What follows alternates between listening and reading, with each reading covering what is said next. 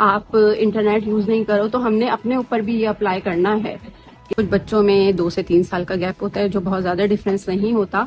और जो हम बड़े वाले बच्चे को है, एकदम बहुत बड़ा बना देते हैं कि नहीं, अब तुम बहुत बड़े हो गए हो, और ये तुम्हारा छोटा भाई है, और छोटे भाई को बहुत ही बेबी बना के रखा हुआ होता है। तो इस तरह से बिल्कुल ही सही नहीं है। आप सारे बच्चों को बराबर अहमियत दें बराबर से उनको रखें, बराबर रिस्पेक्ट दें। बच्चों की एक अपनी सेल्फ रिस्पेक्ट भी होती है और दूसरों के सामने अपने बच्चों को कभी नहीं डांटें। जो बात है, अपनी अकेले में बात करें और सारे बच्चों को एक बराबर वैल्यू दें। एक टाइमिंग रखी जाए कि इतने बजे घर का इंटरनेट ऑफ़ हो जाएगा, सारी डिवाइसेस इधर आ जाएँगी और आपने भी एक मखसूस जगह पे अपनी डिवाइस को रख देना है। तो इस तरह बच्चे ऑन टाइम सोएँगे भी है, उनकी नींद पूरी होगी। एक बड़ी वजह यह भी है कि नींद नहीं पूरी होने की वजह से बच्चे डिस्टर्ब रहते हैं। उनका स्कूल में पढ़ाई में दिल नहीं लगता डिस्टर्ब रहते हैं, सही से फोकस नहीं करते। अगर बच्चे किसी चीज़ पे परेशान है, कोई टॉपिक या कोई एज यूजल ये होता है कि मैथ्स के ऊपर उन्हें ज़्यादा प्रॉब्लम होती है। तो आप ये नहीं कहें कि हम तो ऐसा करते थे, हम बहुत अच्छा पढ़ते थे और तुम लोग पता नहीं क्या कर रहे हो। अभी काफ़ी बर्डन है बच्चों के ऊपर और वो बॉयज़ हों गर्ल्स हों, अपनी पढ़ाई को लेकर बहुत परेशान है। तो उनके साथ ये बिहेव किया जाए कि उनके साथ आप बैठें और देखें कि क्या प्रॉब्लम है। हमारे साथ भी यही होता था, जब हम बड़ी क्लासेस में आते थे तो हमें भी बहुत सारी प्रॉब्लम्स आती थी। आप उसको बैठ कर सॉल्व करें। आप उससे कहें कि सिर्फ़ दस मिनट आपने डेली ये पढ़ना है। फिर दस मिनट से जब उसका दिल चाहने लगेगा पढ़ने मिनट से ज़्यादा इम्प्रूवमेंट आने लगेगी, वो ज़्यादा फिर ट्वेंटी मिनट देने लगेगा। और फिर बच्चों से ये भी कहें कि अपना काम डे वन से ही आपने कंप्लीट रखना है। तो बाज वजूहत ये भी होती है कि आपका काम कंप्लीट नहीं है बच्चों का तो उनका पढ़ने का दिल नहीं चाहता। और फिर वो पढ़ाई से कहते हैं कि बस हमें भागना है।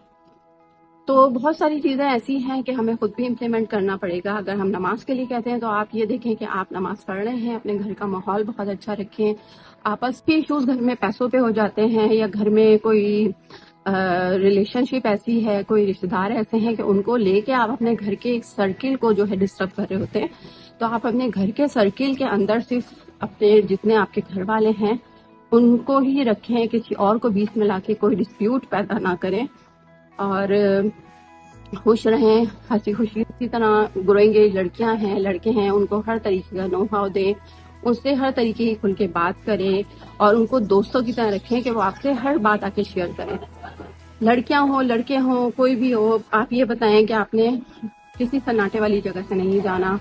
आपने किस तरीके से रहना है, उनको गाइडेंस दें, उनके साथ रहें, उनके ऊपर चेक एंड बैलेंस रखें। उनको देखें कि वो किन किन दोस्तों के साथ बैठ रहे हैं और अच्छा बिहेवियर रखें। घर में भी आ, अपना बिहेवियर सब एक दूसरे साथ सही रखें तो बच्चे भी फिर हमेशा अच्छा रिटर्न देंगे। घर में जब अच्छा बिहेवियर होता है अच्छा क्वालिटी टाइम होता है एक फैमिली टाइम बनता है उसमें आप टीवी देखते हैं सब मिलके साथ बैठ के खाना खा रहे होते हैं ये नहीं कि मोबाइल में ही सब अपनी अपनी डिवाइसेस में लगे हुए हैं।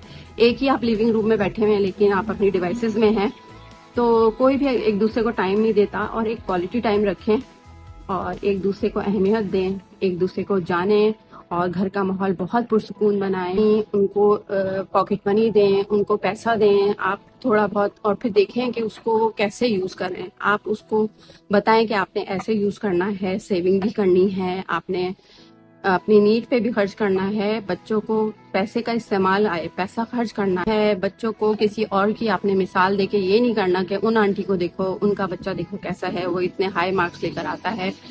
आ, ये जो है बच्चों के लिए बहुत खतरनाक है। आप उसको आहिस्ता आहिस्ता इम्प्रूव करें अगर आपको लगता है कि किसी चीज़ में वीक है मुझे इस तरीके से तो आप किसी और की उसको जो है ना कोई मिसालें ना दें। वो प्यार से उनको सही से हर बात समझाएँ, उनको हक करें, वो आपकी हर बात सुनेंगे हर बात आपकी मानेंगे और, खुश रहें। जजाकल्ला